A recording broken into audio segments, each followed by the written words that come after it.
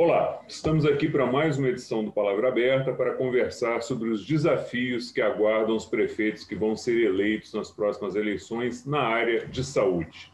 Em 15 de novembro será realizado o primeiro turno das eleições que vão escolher novos prefeitos ou reconduzir prefeitos da gestão anterior dos 5.570 municípios brasileiros. O segundo turno está previsto para o dia 29 nas cidades onde houver essa necessidade. A saúde é um dos grandes desafios para os prefeitos eleitos, em um cenário em que ainda não temos uma vacina, assunto que tem envolvido polêmicas por parte do governo federal e até da agência reguladora, reguladora do setor. E para conversar sobre esse assunto, a nossa convidada de hoje é a deputada Giovana de Sá, do PSD de Santa Catarina, que é uma especialista na área de gestão e saúde. Ela foi vereadora e secretária de saúde do município de Criciúma antes de ser deputada federal. Eu sou Fernando Gomes e este é o Palavra Aberta, agora gravado em formato digital. Deputada, seja muito bem-vinda. Muito obrigado por ter aceitado o nosso convite para conversar sobre esse assunto. Muito obrigada, Fernando. É um prazer também né, estar debatendo um assunto de tamanha relevância para o nosso país, principalmente num momento como esse, em que nós estaremos escolhendo os nossos governantes, né, os mandatários nas cidades, no nosso país, e as preocupações para os próximos anos, principalmente com tudo que nós viemos sofrendo, que é a questão é, da Covid. É, eu pediria à senhora que começasse nos falando aí na sua visão quais vão ser os principais desafios nessa área da saúde em um cenário em que o Covid ainda não foi resolvido, é uma questão que permanece e permanecem também todos os problemas que existiam antes da pandemia. É, eu acho que um dos grandes desafios para os próximos prefeitos vai ser realmente lidar com a queda da arrecadação dos impostos após a pandemia da Covid. É lógico que nós ainda estamos buscando a cura, nós estamos buscando a vacina, há um esforço é, é de várias é, é, universidades, né, de várias entidades, de países que estão realmente na busca. Esse seria o maior presente para a humanidade nos dias atuais, que realmente é encontrar a cura para a Covid. Mas sabemos que tudo isso nós estamos desde o início do ano no Brasil enfrentando, nós vamos ter com certeza uma queda, diminuição das atividades econômicas, isso será realmente refletido, o aumento do desemprego, claro que tivemos aí uma, uma pequena redução é, nesses últimos dias, mas acreditamos que o impacto ainda virá. A tendência é que os municípios arrecadem menos e assim a gente vai ter recursos escassos para investir em setores importantes como a educação, como a mobilidade e principalmente a saúde, que é a política pública, eu digo que é a mais urgente, que precisa ser atendida é, no momento. E os prefeitos têm aí grandes demandas que são realmente as, as, aquelas reprimidas, que já estavam, que eram consultas, cirurgias, que eram filas que se formavam no SUS e que a gente sabe que este ano nós tivemos uma parada devido à atenção toda ser voltada Covid, né? A, a, a, os leitos de UTI, que foram novos leitos habilitados, tudo para atender a Covid. É lógico que isso também vai nos deixar um legado. Porém, nós sabemos que essa fila, essas filas de consultas de exames, elas aumentaram. Ah, os hospitais têm trazido isso muito, os secretários municipais e de estados. Então, os prefeitos terão que lidar com a queda da arrecadação, o desemprego e ainda ter que sanar uma situação que é de saúde muito séria, muito grave, que são aí as consultas, as cirurgias, os exames que estão reprimidos. É, esse é um ponto importante, né, deputada, porque eu acho que, como a senhora disse, a perda do emprego, o empobrecimento de parte da população que antes pagava um plano de saúde e que perdeu o emprego e que não vai poder pagar agora, essas pessoas vão para o SUS. E o SUS já tem a sua própria demanda reprimida, né, de exames, de atendimentos. É. Como é que se lida com essa questão? Quer dizer, toda a demanda reprimida do SUS mais a demanda reprimida das pessoas que perderam o emprego e não vão ter mais como ter o plano de saúde auxiliando. É, é, realmente é um, é um cenário é, é muito complexo. Os prefeitos, eles, eles sabem, principalmente quem está concorrendo aí, que está lidando com a pandemia no dia a dia, sabe que a situação ela é séria, ela é grave, que nós vamos ter que, principalmente, é, buscar fazer gestão é, na saúde de uma forma que a gente consiga tratar a questão da, da Covid paralelo a essas demandas que a saúde tem. Então, é algo muito preocupante, é algo que nós, os prefeitos, o Congresso Nacional, o presidente da República, os governadores, nós vamos ter que nos unir, né, deixar as bandeiras partidárias, elas terão que ser colocadas de lado, e aqueles que vencerem, e aqueles também que não chegarem é, é, é, é vencer as eleições, que possam se unir né, que possamos ser humanos e que possamos realmente encontrar uma saída, fazendo gestão, fazendo realmente, é, é, é, olhando de forma mais humanitária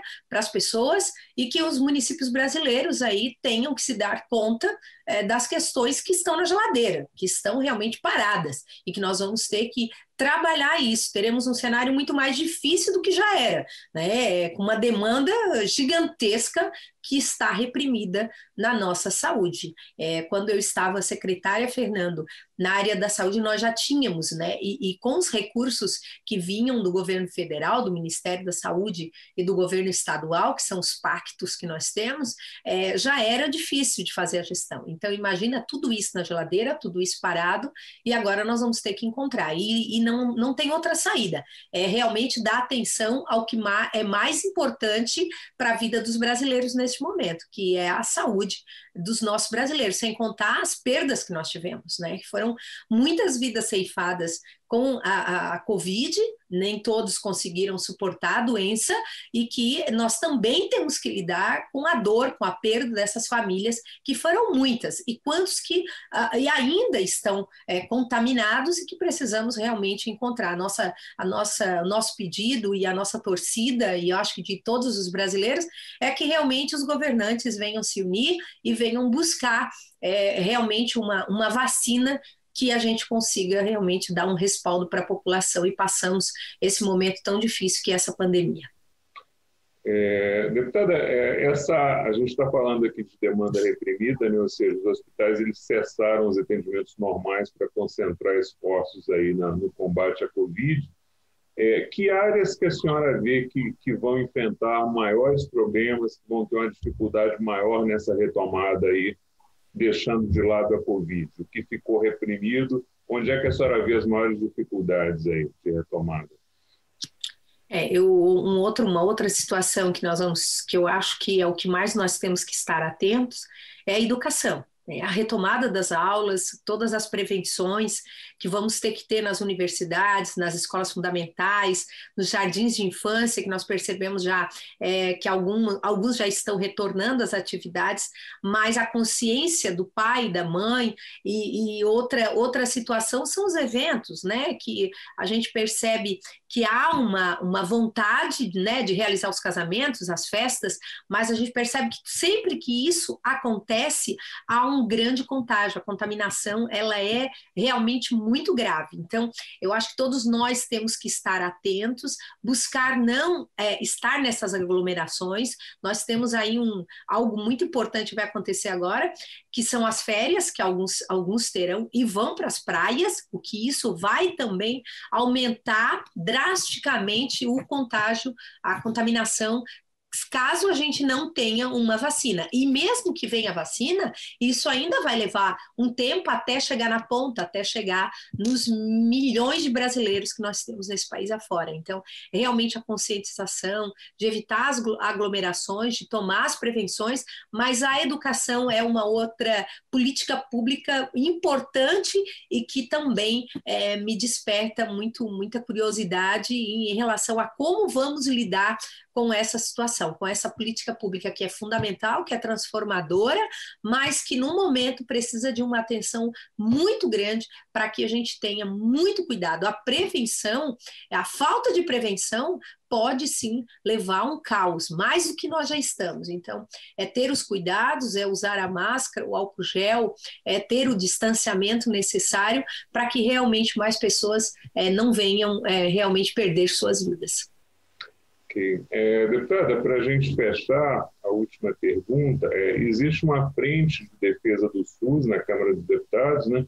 E essa frente ela tem defendido que é, os recursos que foram alocados na proposta orçamentária de 2021, que está parada, inclusive, são é, em um volume muito aquém do que o SUS precisaria, até entrando naquele primeiro ponto que a gente conversou sobre essa demanda adicional que vai ter para o SUS das pessoas que não podem é, pagar um plano de saúde. A senhora está nessa linha aí também de lutar por mais recursos para o SUS, tentar melhorar essa proposta aí no que diz respeito a recursos orçamentários para o SUS? Ah, com certeza, nós vamos ter que realmente fazer um trabalho, um esforço muito grande né? Acho que todas as políticas públicas de mobilidade, segurança pública, todas são importantes, todas são fundamentais, como a área da educação. Mas hoje a pandemia ela exige que realmente os esforços sejam concentrados. Eu acho que todos os parlamentares, mesmo aqueles que não fazem parte, como nós fizemos tanto da frente quanto da comissão de seguridade social e família que trata da política pública de saúde, de assistência social, é, nós vamos ter que concentrar os esforços esforços e que realmente os recursos possam ser alocados no orçamento para a saúde, porque a, a, sequela que isso deixará, realmente o ano que vem, nós ainda vamos enfrentar situações muito graves na, em relação à pandemia. Até, como eu digo, se, se encontrar a vacina para a cura, para o tratamento, mas até isso realmente acontecer e chegar lá na ponta vai demorar. Então, os esforços, o orçamento vai ter que realmente ser alocado para a saúde, para a gente poder combater, prevenir é, essa situação tão séria que é a Covid. Deputada, muito obrigado pelos esclarecimentos prestados, seja sempre muito bem-vindo, é um prazer falar com a senhora. Eu que agradeço, Fernando, e estou sempre à disposição da TV Câmara, todos que acompanham o Congresso Nacional e que com certeza estamos à disposição aqui também na nossa cidade, no nosso estado de Santa Catarina. Muito obrigada, um grande abraço e que Deus abençoe a nossa nação. Obrigado. Eu conversei com a deputada Giovânia de Sá, do PSDB de Santa Catarina, sobre os desafios que aguardam os prefeitos que vão ser eleitos nas próximas eleições na área de saúde. A você que nos acompanha, muito obrigado pela sua audiência, um forte abraço e muita saúde.